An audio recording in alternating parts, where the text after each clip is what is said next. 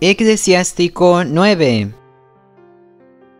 No seas celoso de la mujer que amas, podría nacer en ella la tentación de engañarte. No te entregues en las manos de una mujer hasta el punto que te domine. No te acerques a una mujer de mala reputación. Podrías caer en sus redes. No te entretengas con una cantadora. Haría que cayeras en su trampa. No fijes tu mirada en una jovencita. Podrías condenarte con ella. No caigas en los brazos de una prostituta podrías perder con ella todo lo que tienes. No mires para todas partes en las calles de la ciudad ni te entretengas en rincones solitarios. Aparta tus ojos de una mujer hermosa. No te quedes mirando a una belleza desconocida. La belleza de una mujer ha hecho caer a muchos. Ella basta para encender la pasión. No te sientes a la mesa con una mujer casada para tomar vino con ella. No sea que se despierte en ti el deseo y que la pasión te haga ceder y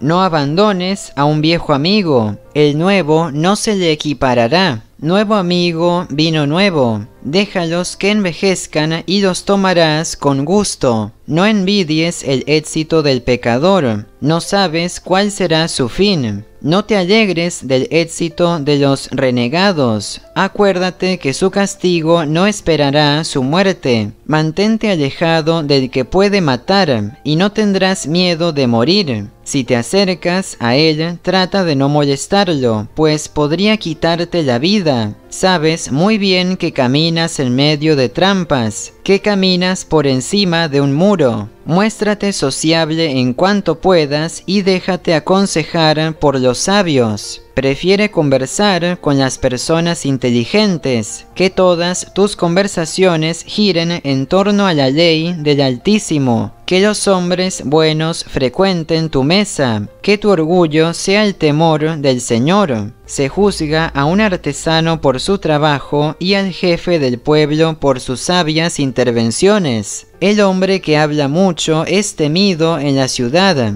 Se detesta al que habla puras estupideces. Palabra de Dios, te alabamos Señor.